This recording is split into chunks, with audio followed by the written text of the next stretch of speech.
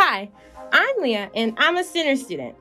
My family consists of six people, including me. There's my mom, my dad, my older sister, my little sister, and my dog.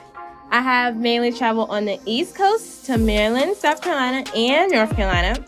My friends include Tyreek, Chris, Cassidy, and many more. I'm friends with them because they add excitement to my life. I have a fear of flying. Planes freak me out. Anything can go wrong at any second. My favorite holiday is Christmas because I'm with my whole family and we eat a bunch of food.